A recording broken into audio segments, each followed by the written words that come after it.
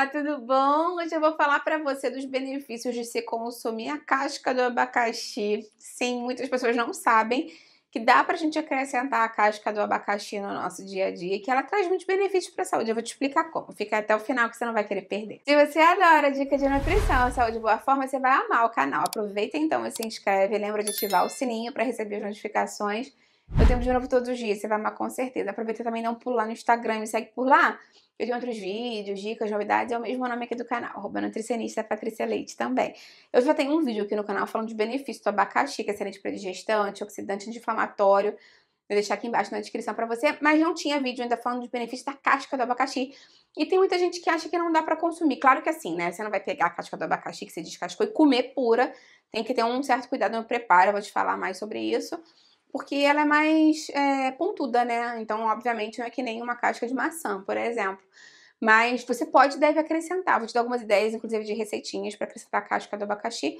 Vamos falar agora dos benefícios dela para o dia a dia. Primeiro super benefício, com certeza, é a grande quantidade de fibras naturalmente presentes na casca do abacaxi, como em outras cascas. Normalmente, as cascas dos vegetais são mais fibrosas e a casca do abacaxi não é exceção. Essas fibras podem ajudar no controle do açúcar do sangue, porque deixam, fazem com que a digestão seja mais lenta, o alimento passe mais lentamente do estômago para o intestino e oscile menos o açúcar do sangue. Isso também ajuda a controlar o apetite. Essa, esse alimento ficar mais tempo no estômago controla mais a saciedade, a saciedade acaba ficando mais prolongada.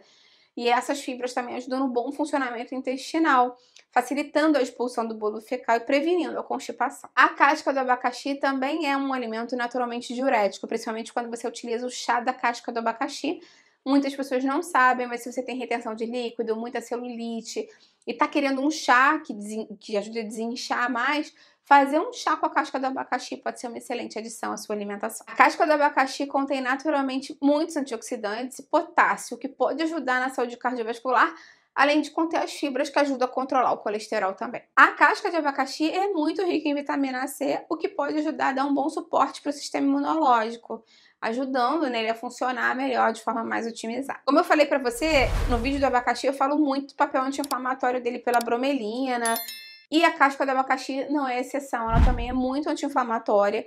Então, se você busca acrescentar mais alimentos naturalmente anti-inflamatórios e diminuir aquela inflamação crônica de baixo grau no seu organismo, casca de abacaxi é uma excelente opção. A casca de abacaxi também é rica em vitaminas do complexo B, que pode ajudar a melhorar a saúde neurológica e cognitiva como um todo. Além disso, a casca do abacaxi também contém vitamina A, beta-caroteno, que ajuda na saúde da pele, da unha, dos cabelos, então, se você busca uma, uma casca de algum vegetal que melhore essa parte estética, com certeza a casca, a casca de abacaxi é uma boa opção para você. Quando a gente pensa em casca de abacaxi, acho que 90% das pessoas pensam em consumir o chá da casca, né? Que é uma opção que essa sim muitas pessoas fazem, usam no dia a dia, utilizam o miolo, né, a polpa do abacaxi para cozinhar e a casca da, do abacaxi para extrair parte desses compostos que eu falei para você. Claro que é uma excelente opção, fica com um sabor incrível, não precisa adoçar, fica com muito gosto de abacaxi e pode já ser um começo, assim, se você não está acostumado a acrescentar mais casca de abacaxi no dia a dia. É só, vale a pena ressaltar que quando você faz o uso do chá, você não vai ter os benefícios associados à fibra, né, da casca, porque você não vai consumir, você vai só beber aquela aguinha do chá, então já tem uma diferença aí. Agora você pode utilizar a casca, por exemplo, para fazer suco verde. Normalmente, é, o ideal é que você hum, lave bem, claro, e retira um pouco aquela parte dos, dos mais pontuda da casca do abacaxi. Sabe do que eu tô falando, né? Aquele olhinho do abacaxi para fora. Você pode dar uma limpadinha, ele, ele, tirar aquele excesso. E depois você pode bater com um pouco de abacaxi ou com maçã, com outra fruta que você queira. Pode acrescentar gengibre, pode acrescentar folhinha de hortelã, bastante água, bate, bate, bate bem Pode botar uma pedrinha de gelo, fica um suco maravilhoso. Você pode fazer a geleia da casca do abacaxi também, muitas pessoas não sabem. Se você cozinhar, não precisa colocar açúcar necessariamente. Você pode inclusive botar um pouco do abacaxi com um pouco da casca. Água, canela, cravo, leva para cozinhar. Como você faz, né? Com casca de abóbora, por exemplo, com casca de mamão. Claro que são cascas mais suaves. Vai levar mais tempo do abacaxi para ficar bem cozidinha mas pode ser uma excelente para você acrescentar no seu dia a dia. A casca do abacaxi você pode utilizar inclusive no bolo. Tem gente que faz o bolo de abacaxi, você pode acrescentar parte dele liquidificado ali da casca para acrescentar mais fibras ao seu bolo. Quando você rala a casca do abacaxi, você pode acrescentar nas panquecas, nos muffins, naqueles bolinhos pequenininhos. Então acaba ficando mais fácil de você incorporar nas receitas que vão ser assadas.